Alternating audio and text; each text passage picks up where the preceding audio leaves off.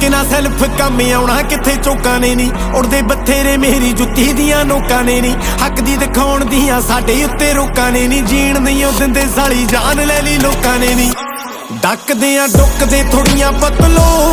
ਬੋਲੇ ਅਸੀਂ ਟੁੱਕਦੇ ਥੋੜੀਆਂ ਪਤਲੋ। ਨਹੀਂ ਮਿਲੀ ਜਾਂਦਾ ਸੁੱਖ ਦੇ ਥੋੜੀਆਂ ਪਤਲੋ। ਨਹੀਂ ਇਹਨਾਂ ਕੋਲੋਂ ਰੁਕਦੇ ਥੋੜੀਆਂ ਪਤਲੋ।